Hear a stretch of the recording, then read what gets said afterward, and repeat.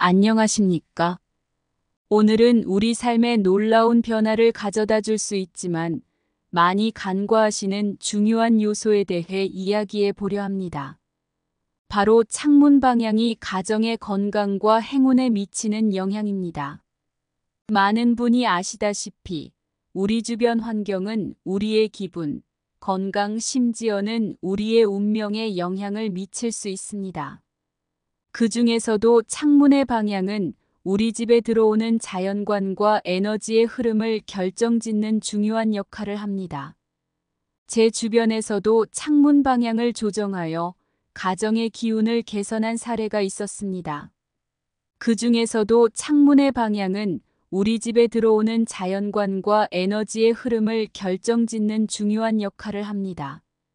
제 주변에서도 창문 방향을 조정하여 가정의 기운을 개선한 사례가 있었습니다.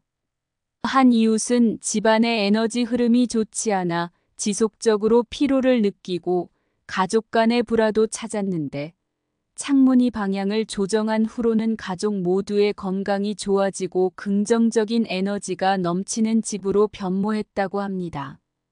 이처럼 창문 방향은 단순한 구조 요소를 넘어 우리 삶에 깊은 영향을 끼치는 중요한 요소입니다.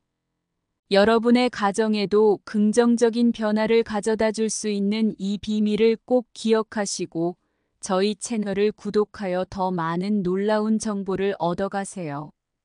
구독과 좋아요는 저희가 더 좋은 내용으로 여러분께 돌아올 수 있는 힘이 됩니다. 창문의 방향이 우리 가정의 건강과 행운에 미치는 영향은 고대부터 전해져 온 지혜와 과학이 만나는 지점에서 더욱 명확해집니다.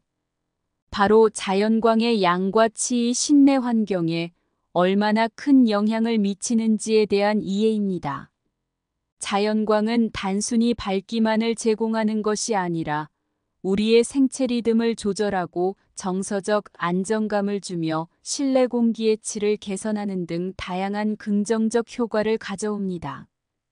특히 동쪽으로 향한 창문은 아침 햇살을 집안으로 끌어들여 하루를 활기차게 시작할 수 있도록 돕습니다.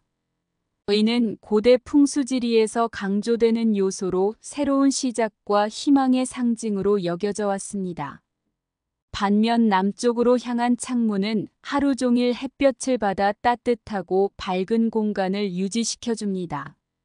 의는 가정 내에 활동적이고 긍정적인 에너지를 촉진시키며 겨울철에는 난방 비용을 절약하는 효과도 가져옵니다. 실제로 창문 방향을 고려하여 집을 설계하거나 리모델링한 사례에서는 에너지 효율성의 증가뿐만 아니라 가족 구성원의 건강 상태 개선, 스트레스 감소, 그리고 전반적인 삶의 질 향상이 보고되었습니다. 예를 들어 서울에 사는 이 씨 가정은 거실과 주방의 창문을 남쪽으로 재배치한 후 집안의 분위기가 한층 밝아지고 가족 모두가 더 활기차고 긍정적인 기분을 유지하게 되었다고 합니다. 이처럼 창문의 방향은 단순한 구조적 요소를 넘어서 우리의 건강 행복 그리고 가정의 풍요로움에 직접적으로 기여하는 중요한 역할을 합니다. 이제 여러분도 자신의 집에서 창문의 방향을 제거하고 가정에 긍정적인 변화를 가져올 수 있는 방법을 모색해 보세요. 이번에는 창문 방향이 가정 내 에너지 효율성과 환경 친화성에 미치는 긍정적 영향에 대해 이야기해 보겠습니다. 적절한 창문 방향은 단순히 가정의 분위기와 구성원들의 기분을 좋게 하는 것을 넘어서 에너지 사용을 줄이고 지속 가능한 생활 방식을 지원하는 중요한 요소가 됩니다.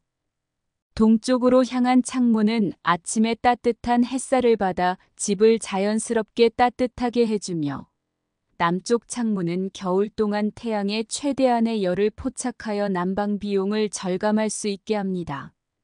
이는 자연광을 최대한 활용하여 인공 조명과 난방에 의존하는 시간을 줄이는 것을 의미하며 이는 에너지 소비를 줄이고 전기 요금을 낮추는 효과를 가져옵니다. 또한 창문을 통한 자연 환기는 공기질을 개선하고 실내 오염 물질을 줄이는 데도 기여합니다. 신선한 공기의 순환은 건강한 실내 환경을 조성하며 알레르기와 같은 건강 문제를 줄일 수 있습니다. 이러한 환경은 가정 내에서의 삶의 질을 향상시키는 동시에 환경에 대한 우리의 발자취를 줄이는 데 기여합니다. 이와 같이 창문 방향의 고려는 단순한 건축적 선택이 아닌 가정의 에너지 효율성과 건강 그리고 지속 가능성을 동시에 증진시키는 전략적 결정입니다. 따라서 집을 짓거나 리모델링할 때 창문의 방향에 대해 신중하게 고려하는 것은 우리 가정뿐만 아니라 치고 환경에도 긍정적인 영향을 미칩니다. 또한 창문 방향이 개인의 생활 패턴과 일상의 리듬에 어떻게 조화를 이루며 긍정적인 변화를 가져올 수 있는지를 탐구해 보겠습니다. 창문의 방향과 위치는 단순히 자연광을 실내로 끌어들이는 기능을 넘어 우리가 하루를 어떻게 시작하고 마무리하는지에 큰 영향을 미칩니다. 아침 햇살을 맞으며 하루를 시작하는 것은 많은 사람에게 활력을 주며 긍정적인 하루의 시작을 약속합니다. 이와 마찬가지로 서양 창문을 통해 집으로 들어오는 저녁 노을은 하루의 마무리를 의미하며 가족이 함께 모여 하루를 되돌아보고 내일을 계획할 수 있는 평온한 시간을 제공합니다. 이러한 자연의 리듬과 조화를 이루는 생활은 정신 건강에 긍정적인 영향을 미치며 스트레스를 감소시키고 전반적인 삶의 만족도를 높일 수 있습니다.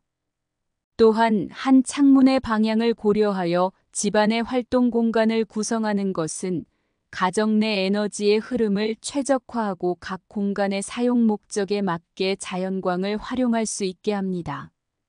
예를 들어 작업 공간이나 공부방은 동쪽 또는 남쪽 창문 근처에 배치하여 충분한 아침빛을 받을 수 있도록 하며 휴식을 위한 공간은 서양 창문을 통해 따뜻한 저녁 햇살을 누릴 수 있도록 합니다. 이처럼 창문의 방향을 신중하게 고려하는 것은 단순히 빛의 양을 조절하는 것을 넘어 우리의 일상 속에서 자연과 더불어 조화롭게 살아갈 수 있도록 돕는 중요한 요소가 됩니다. 가정의 구성은 모두가 더 건강하고 행복한 생활을 영할 수 있도록 우리의 생활 공간 속에서 자연의 리듬을 최대한 활용해 보세요. 창문 방향이 가정의 일상에 미치는 영향에 대해 탐구해 보았습니다. 이제 우리가 얻은 지식을 어떻게 적용할 수 있을지에 대해 생각해 보겠습니다. 창문의 위치와 방향성은 단순한 구조적 요소가 아니라 우리의 건강, 기분, 그리고 일상의 흐름을 형성하는 데 중요한 역할을 합니다. 동쪽으로 향한 창문은 아침을 활기차게 시작할 수 있도록 투과하고 서양 창문은 하루를 평온하게 마무리할 수 있도록 돕습니다. 남향과 북향 창문은 각각의 방식으로 실내 환경을 조절하며 우리의 생활에 긍정적인 영향을 미칩니다. 이러한 이해를 바탕으로 우리는 집을 설계하거나 리모델링할 때 창문의 방향을 신중하게 고려해야 합니다. 또한 기존의 공간에서도 창문을 통해 자연광을 최대한 활용하는 방법을 찾아 건강하고 활기찬 가정 환경을 조성할 수 있습니다. 예를 들어 일기나 작업을 위한 공간은 가능한 한 아침 햇살을 받을 수 있도록 동쪽 또는 남쪽 창문 근처에 배치하고 휴식 공간은 서양 창문을 통해 저녁 노을을 감상할 수 있는 곳에 마련할 수 있습니다. 아직도 이러한 배치와 조합의 중요성을 모르는 분들이 있다면 이 지식을 꼭 공유해 주세요. 우리의 집은 단순히 살아가는 공간이 아니라 우리의 건강과 행복을 키워나가는 터전입니다. 창문의 방향과 위치는 우리의 일상에 미치는 영향뿐만 아니라 집 자체의 에너지 효율성에도 중요한 역할을 합니다. 적절한 창문 배치는 자연광을 최대한 활용하면서도 난방 및 냉방 비용을 절약하는 데 도움이 됩니다.